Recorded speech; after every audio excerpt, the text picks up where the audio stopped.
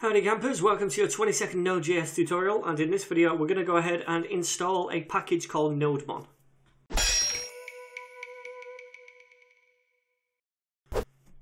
Okay then guys, so now we know how to use the Node Package Manager and how to install packages. Before we get started with Express, I just want to install one more package first and show you what that does.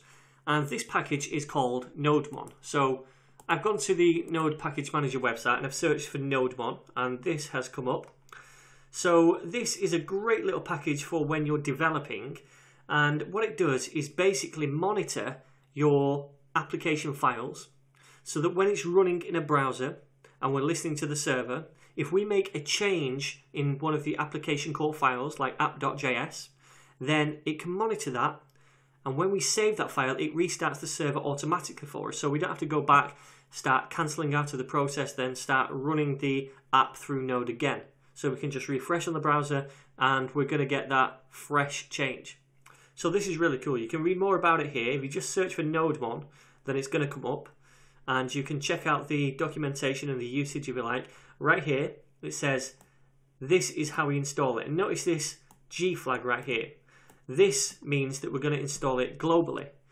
And basically what that means is that no matter what application we work with on our computer, we can use Nodemon. Because when we've been installing packages in the past, we've been doing it locally, specific to an application. But this is going to install it globally, meaning that when we create applications in the future, we're not going to need to install Nodemon again. It's already globally installed on our computer, so we can use it in any of our applications on here. So let's go ahead and install it. So what I'm going to do is come over here and say npm install nodemon and then we can put the hyphen g at the end or before nodemon it doesn't really matter it does the same thing. And this is going to go ahead download all of those files for nodemon and install them globally. So we're not going to see those files here when it installs. It's going to install somewhere else. Okay, so that's fully installed now. And the way this works is by instead of typing node app to run our application, instead I'm going to say nodemon app.js. And this is going to do the same thing. It's going to run our application and you're going to see a couple of messages that it will throw up in a second. You can see. So this is the version. Uh, to restart at any time, enter rs.